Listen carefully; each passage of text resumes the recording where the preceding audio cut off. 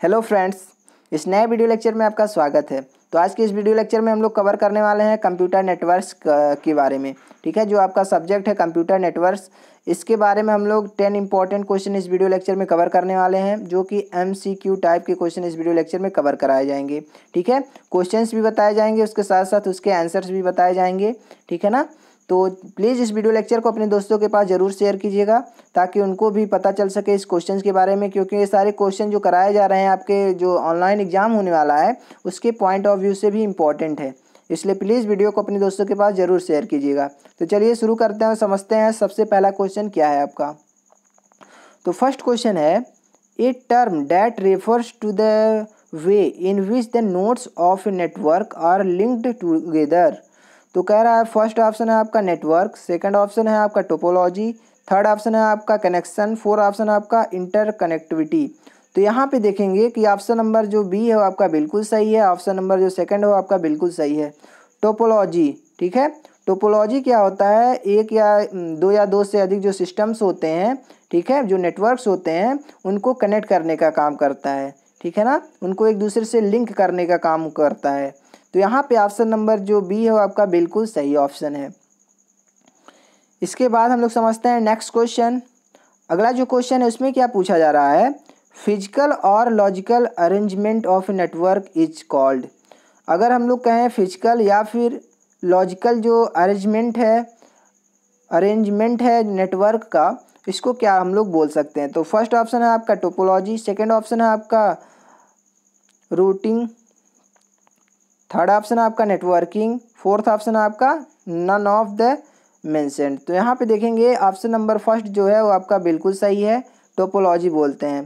किसी भी नेटवर्क का जो फ़िज़िकल या फिर लॉजिकल अरेंजमेंट होता है, इसको हम लोग टोपोलॉजी बोल सकते हैं। तो यहाँ पे ऑप्शन नंबर फ़र्स्ट आपका बिल्कुल राइट आंसर है। ठीक है ना? कोई भी अगर नेटवर्क है मान लेते हैं नेटवर्क है इसका फ़िज़िकल कनेक्शन या फिर लॉजिकल कनेक्शन फ़िज़िकल कनेक्शन मतलब हम लोग जो बाहर से देख सकते हैं कि, कि किस जो नेटवर्क है कई सारा नेटवर्क है कैसे कनेक्ट है ठीक है? तो इसी को अरेंजमेंट बोलेंगे कि जो नेटवर्क है कई सारा एक दूसरे से किस प्रकार से कनेक्ट है। इसी को क्या हम लोग बोलते हैं? टोपोलॉजी बोलते हैं। तो यहाँ पर ऑप्शन नंबर फ़र्स्ट आपका बिल्कुल सही ऑप्शन है। इसके बाद हम लोग समझते हैं नेक्स्ट क्वेश्चन अगला जो क्वेश्चन है data communication system spanning states countries और वो whole world is first option है आपका लैन सेकेंड ऑप्शन आपका वैन थर्ड ऑप्शन आपका मैन फोर्थ ऑप्शन आपका नन ऑफ़ द मेंशनड तो यहाँ पे जो क्वेश्चन बोला गया है कि इसमें से कौन सा नेटवर्किंग है, जिसके द्वारा हम लोग ये कंट्री से कनेक्ट हो सकते हैं या फिर एक एक दूसरे दूसरे कंट्री से भी कनेक्ट हो सकते हैं, या फिर सारे सारे संसार से भी हम लोग कनेक्ट हो सकते हैं, सारे वर्ड से भी कनेक्ट हो सकते हैं, कौन सा इसमें नेटवर्किंग है। तो हम लोग समझते हैं पहले लैन के बारे में, ठीक है? लैन क्या होता है? लोकल एरिया नेटवर्क होता है। लोकल एरिया नेटवर्क का मतलब एक पर्टिकुलर बिल्डिंग में इसका कनेक्शन होगा नेटवर्किंग का। फिर यह हो सकता है कि एक ऑफ़िस में हो छोटे एरिया के लिए जो होता है नेटवर्किंग वो लाइन का यूज़ होता है। ठीक है ना? लोकल एरिया नेटवर्क जिसको बोलते हैं। और वाइड एरिया नेटवर्क क्या होता है आपका? वाइड एरिया नेटवर्क होता है आपका डब वैन ठीक है? वाइड एरिया नेटवर्क इसका फुल फॉर्म होता है। वाइड एरिया नेटवर्क का ही यूज़ हम लोग पूरे देश में भी कर सकते हैं या फिर एक देश से दूसरे देश में भी हम लोग करते हैं वाइड एरिया नेटवर्क का। तो यहाँ पे जो ऑप्शन नंबर सेकेंड दिया गया है वैन वो आपका बिल्कुल सही ऑप्शन है, ठीक है? इसी तरह से जो मैन होता है, उसका क्या है? मेट्रोपॉलिटन एरिया नेटवर्क ये पर्टिकुलर एक सिटीज़ में जो हम लोग कम्युनिकेशन करना होता है नेटवर्किंग करना होता है तो वहाँ पे हम लोग जो मैन नेटवर्किंग है, उसका यूज़ करते हैं, ठीक है ना? तो यहाँ पे इस क्वेश्चन के लिए जो आंसर है आपका, वो वैन सही है, ठीक है? वैन क्या होता है आपका? Wide area network. Wide area network होता है, एक लंबे क्षेत्र को कवर करने के लिए डब्लू या फिर लैन का यूज़ किया जाता है, ठीक है? इसके बाद हम लोग समझते हैं नेक्स्ट क्वेश्चन अगला जो क्वेश्चन है, उसमें क्या पूछा जा रहा है? एक्सपेंड वैन डब्लू ए एन पूछा जा रहा है इसका फुल फॉर्म ठीक है? तीनों का जो फुल फॉर्म है लैन मैन वैन तीनों का फुल फॉर्म इंपॉर्टेंट है, आपके एग्ज़ाम में पूछा जा सकता है। तो यहाँ पे पूछा गया है आपका वैन का जो फुल फॉर्म होता है वो। तो फ़र्स्ट ऑप्शन आपका दिया गया है word area network second option आपका दिया गया है wide area network third option आपका दिया गया है web area network fourth option आपका दिया गया है नन ऑफ़ मेसन तो यहाँ पे ऑप्शन नंबर जो सेकेंड है, वो आपका बिल्कुल सही है वाइड एरिया नेटवर्क ठीक है? एक पर्टिकुलर एक देश में या फिर एक कंट्री से दूसरे कंट्री में जब हम लोग कम्युनिकेशन करना होता है तो वाइड एरिया का वाइड एरिया नेटवर्क का यूज़ करते हैं, ठीक है ना? तो जो वैन होता है, उसका फुल फॉर्म क्या है आपका? वाइड एरिया नेटवर्क है। इसके बाद हम लोग समझते हैं नेक्स्ट क्वेश्चन अगला जो क्वेश्चन है, उसमें क्या पूछा जा रहा है? इसको हम लोग समझते हैं। मल्टीप्लेक्सिंग तकनीक that shift each signal to different frequency carrier frequency तो इसमें से कौन सा मल्टीप्लेक्सिंग है जो डिफरेंट करियर फ्रिक्वेंसी को शिफ्ट करता है? मतलब डिफरेंट करियर फ्रिक्वेंसी का यूज़ करता है। यहाँ पे देखेंगे इस तरह से। यहाँ पे फ्रिक्वेंसी है इस एक्सिस पे, इस एक्सिस पे टाइम है। तो यहाँ पे देखेंगे यूज़र फ़र्स्ट के लिए अलग फ्रिक्वेंसी होगा यूज़र सेकंड के लिए अलग फ्रिक्वेंसी होगा, ठीक है? तो यहाँ पे आपका जो फ़र्स्ट ऑप्शन दिया गया है F D M frequency division multiplexing second division आपका सेकेंड ऑप्शन दिया गया है आपका time division multiplexing third option आपका दिया गया है both F D M and T D M fourth option आपका दिया गया है नन ऑफ़ द मैंशनड तो यहाँ पे ऑप्शन नंबर फ़र्स्ट आपका बिल्कुल सही है फ्रीक्वेंसी डिवीज़न मल्टीप्लेक्सिंग तो जो फ्रीक्वेंसी डिवीज़न मल्टीप्लेक्सिंग होता है, उसमें क्या होता है? एक अलग फ्रीक्वेंसी अलॉट कर दिया जाता है एक यूज़र को, ठीक है? एक अलग फ्रीक्वेंसी अलॉट कर दिया जाता है अलग अलग यूज़र्स को. इस तरह से डिफरेंट डिफरेंट फ्रीक्वेंसी हम लोग यूज़ कर सकते हैं या फिर शिफ्ट कर सकते हैं, किसमें? एफ़ डी एम में फ्रीक्वेंसी डिवीज़न मल्टीप्लेक्सिंग में।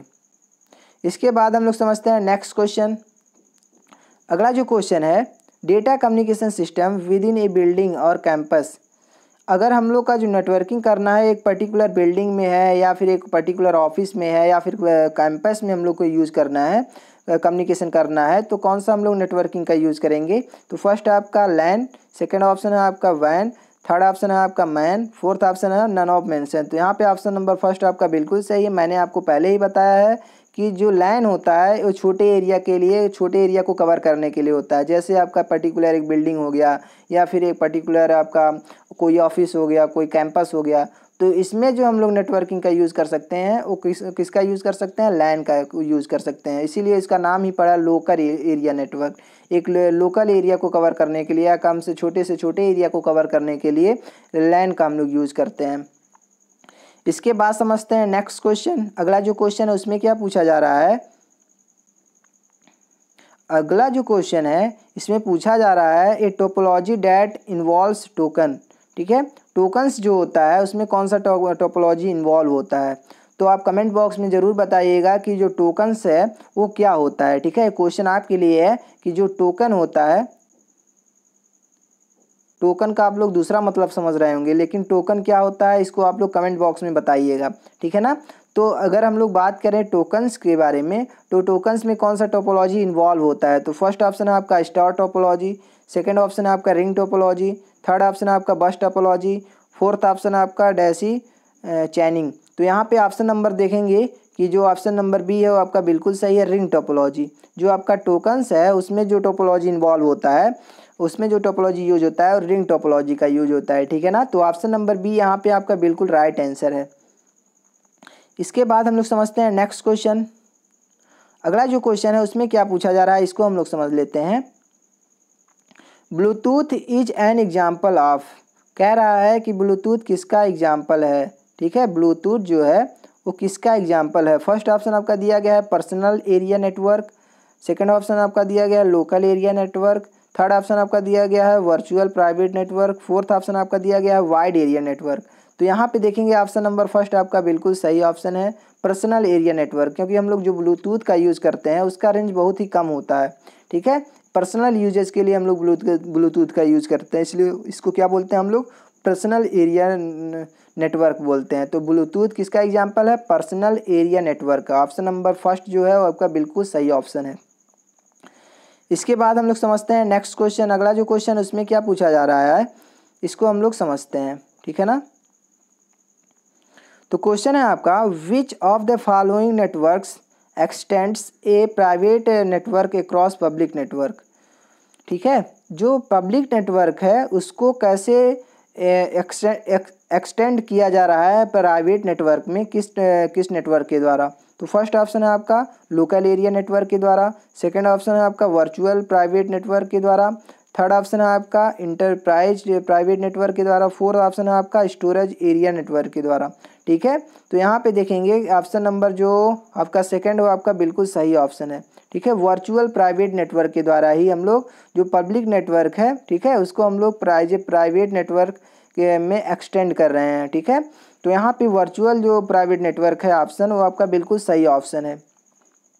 इसके बाद हम लोग समझते हैं नेक्स्ट क्वेश्चन ठीक है? अगला जो क्वेश्चन है, उसमें क्या पूछा जा रहा है? O N T is connected to splitter using जो ओ एन टी होता है नेटवर्किंग में, ठीक है? ओ स्प्लिटर से किस प्रकार से कनेक्ट होता है, किसके द्वारा कनेक्ट होता है? तो फ़र्स्ट ऑप्शन है आपका high speed fibre cable second option है आपका H F C third option है आपका ऑप्टिकल केबल फोर्थ ऑप्शन आपका ट्विस्टेड पेयर केबल तो यहाँ पे ऑप्शन नंबर थर्ड आपका बिल्कुल सही है. ऑप्टिकल फाइबर केबल से जो ओ एन टी होता है, वो आपका जो स्प्लिटर होता है दोनों आपस में कनेक्ट होते हैं, ठीक है?